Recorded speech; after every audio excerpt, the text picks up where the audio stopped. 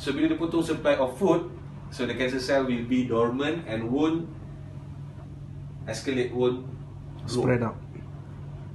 Itulah itu saya ni buat. Their journal, you boleh check dekat internet semua. Dr. Bakji, semua banyak. I see. How? So ini perjuangan kita. Faham. This is our perjuangan. Sebab tu kita punya produk semua ada antioksidan.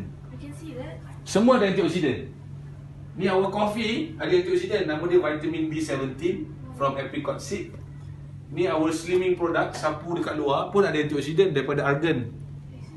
Semua produk kita ada antioksidan. Why? Sebab kita tak nak orang kena kanser. Sebab bila kena kanser, siapa sengsara? Bukan, family dia yang sengsara. Ya. Bukan dia seorang. Family dia. Ibu ayah dia, adik-beradik dia, pasangan dia, Yalah semua orang Ya. sedih. semua- semua orang. Kan? Ya.